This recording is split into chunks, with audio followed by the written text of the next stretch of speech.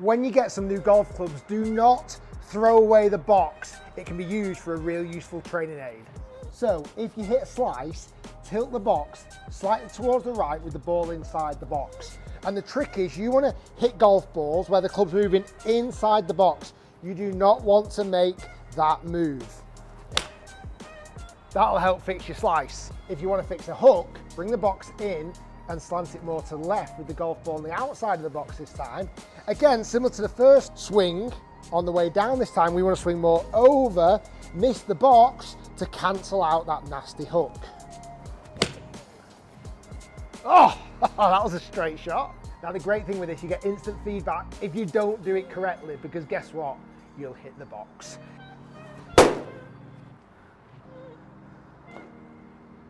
Oops. New box needed.